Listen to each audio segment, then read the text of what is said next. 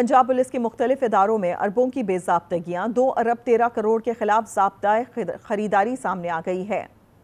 Audit report 2023-24 Punjab assembly की कायमा committee बरए दाखिला में जमा करा दी गई है, जिसमें कहा गया है कि पेपरा रूल्स के मुताबिक खिलाफ वर्जी करते हुए आईजी ऑफ़िस ने एक अरब बासठ करोड़ की खरीदारी की, जो डिलीवर हुए ना डिलीवरी चार्जेस डाले गए। डीपीओ गुजरात ने गाड़ियों की मुरम्मत पर तीन करोड़ पंद्रह लाख फूंक दिए। SP police response unit Dolphin ने कवायद और जवाबित नजरअंदाज करते हुए दो करोड़ पंद्रह लाख की खरीदारी की। डीपीओ शेखपुरा ने चौरासी लाख का ऑयल खिलाफ जबता खरीदा।